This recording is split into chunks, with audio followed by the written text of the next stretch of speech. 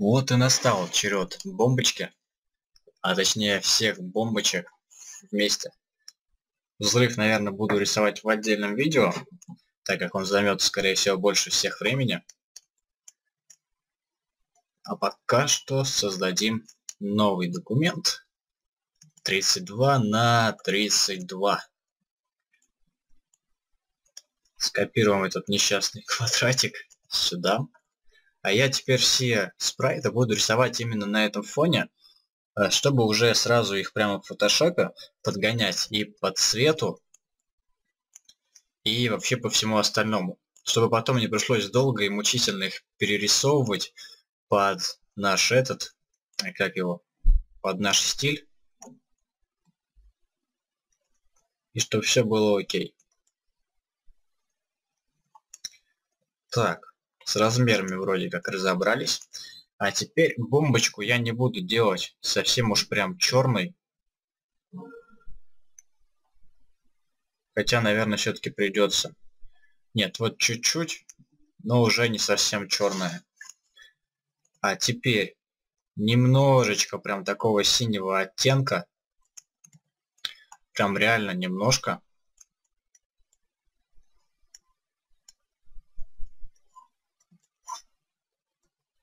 Вот так. Можно, конечно, еще взять во внимание то, что на нее будет светить и желтые светильники, причем сразу с двух сторон, то можно пойти на такую хитрость а, и подсветить, подсветить нижнюю часть синим, а верхнюю часть желтым. Но сделать это не очень ярко.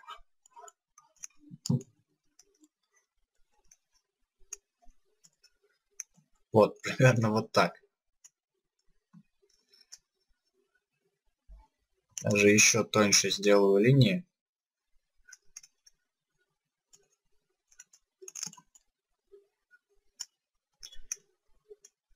Хорошо.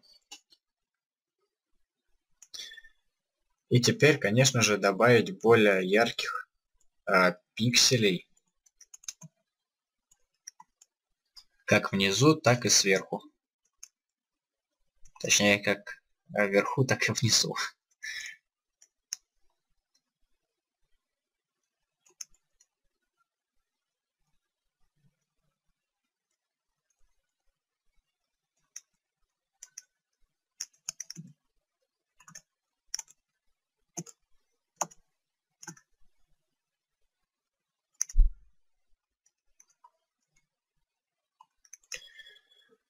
И не забываем, что у самой бомбы тоже есть а, объем, и, соответственно, ей можно добавить какой-нибудь там белый цвет, белый блик. Но так как сам металл у этой бомбы у нас а, довольно непрозрачный, то и сам блик будет не очень-то ярким.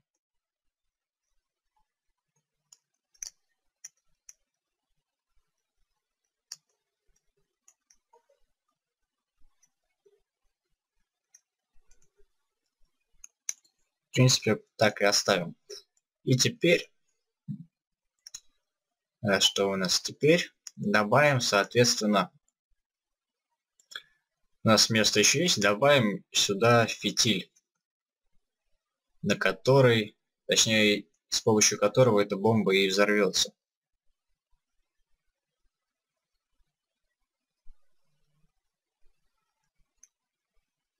Вот так вот.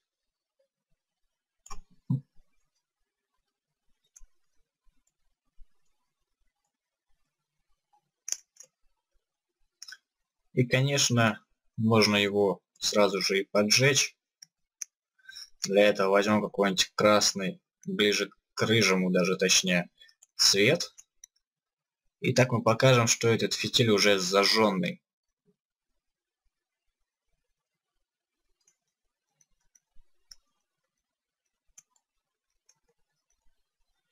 Если от него еще там пустить какой-нибудь дымок,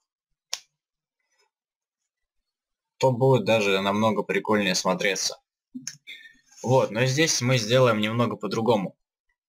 А бомбы у нас будут только замедленного действия, А то, что у нас падало, то есть бомбы, которые взрывались при контакте с полом, они у нас будут а, заменены на снаряды для вот этой вот турели. Вот она. И, соответственно, такие вот у нас будут снаряды. Они будут похожи на какие-нибудь там танковые, бронебойные.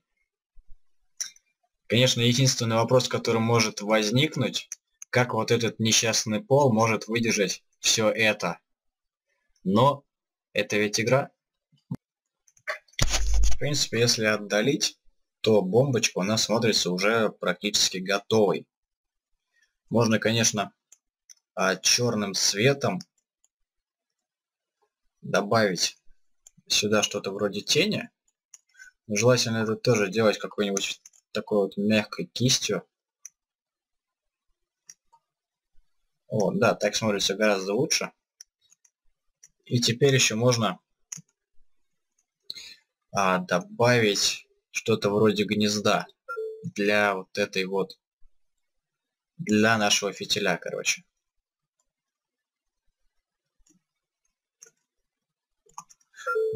Здесь, конечно, можно оставить и белый цвет, но от вот этих вот искорок, которые а, тоже дают свет, здесь все-таки будет такой желтоватый оттенок.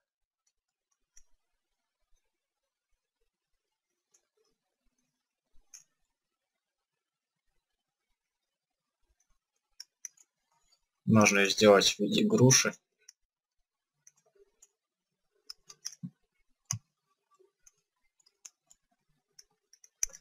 Ну-ка.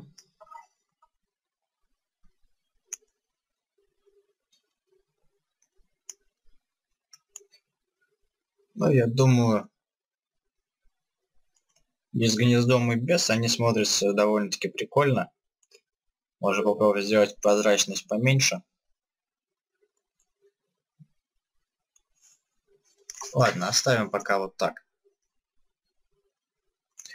Вот такая вот миленькая бомбочка у нас получилась.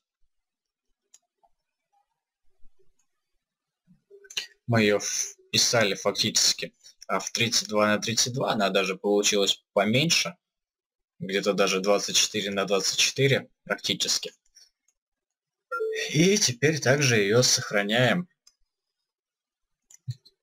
Полностью размер 22 на 29.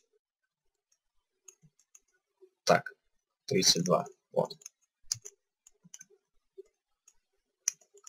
И также попробуем сохранить ее в GIF.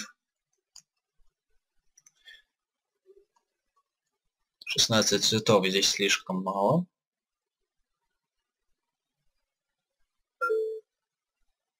Нет, все-таки в гифе она смотрится как-то, ну, не очень.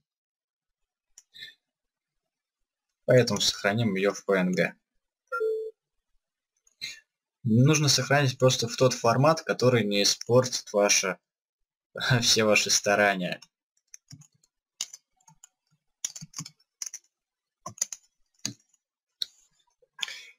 Так, давайте же наконец-то вставим его. Точнее, даже мы ставим его, а не сюда, так как бомба у нас будет все-таки как снаряд. А вот бомбу замедленного действия... О, мне даже спрайт снаряда уже готов. И когда я успел его сделать? Отличненько. И дублирую спрайт. И теперь, теперь, теперь, так. Надо его раскрасить в красный цвет. Можно, в принципе, даже сделать вот так. А, сделать анимацию, которую он будет у нас переливаться цветами. А вот этот вот фитилек Посмотрим, как это будет выглядеть. По-моему, вообще ничего не изменилось.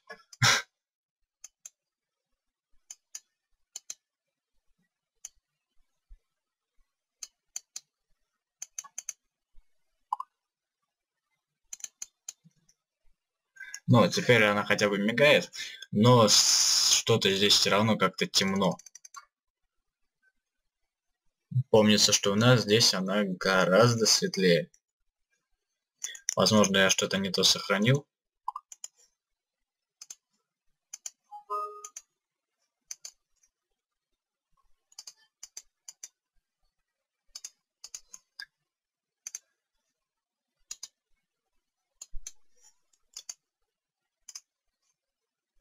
Смотрим, что у нас. Вот, теперь все в порядке вроде как. Но мне кажется, можно ее сделать чуть-чуть посветлее, что ли.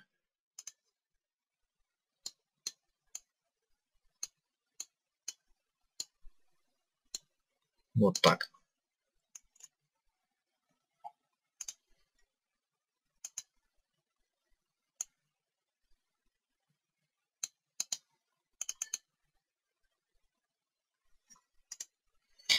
И добавим обратно.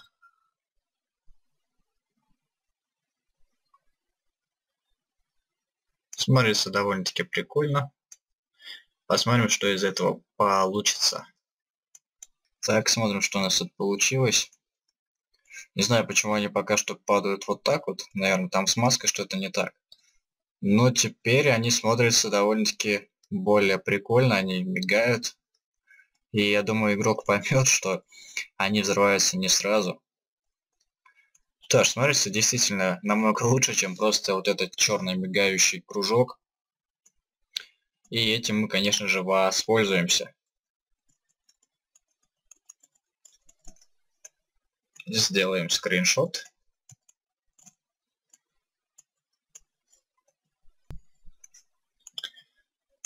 И теперь заменяем здесь спрайт на снаряд. меняем у него. Так, ну с маской здесь, в принципе, все нормально. А вот у этой бомбочки здесь, в принципе, тоже все нормально. Тогда я не пойму, почему она взрывается как-то вот так вот странно. Ну да ладно. А это уже потом буду разбираться с кодом. Главное сейчас сделать графику. Бомбу мы в принципе сделали. Осталось теперь сделать от них взрыв. Взрыв, наверное, будет один и тот же использоваться. А, но вот эти вот примитивные кружки я все-таки заменю на более красивый пиксельный взрыв.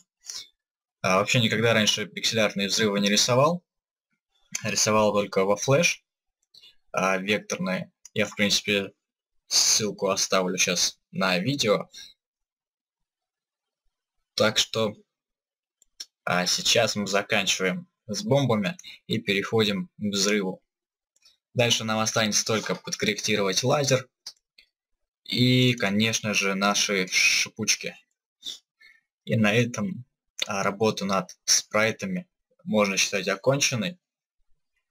Разве что а, нужно будет еще немного поиграться с вот этими ящиками и поиграться со спрайтом нашего персонажа. Нужно будет его сделать.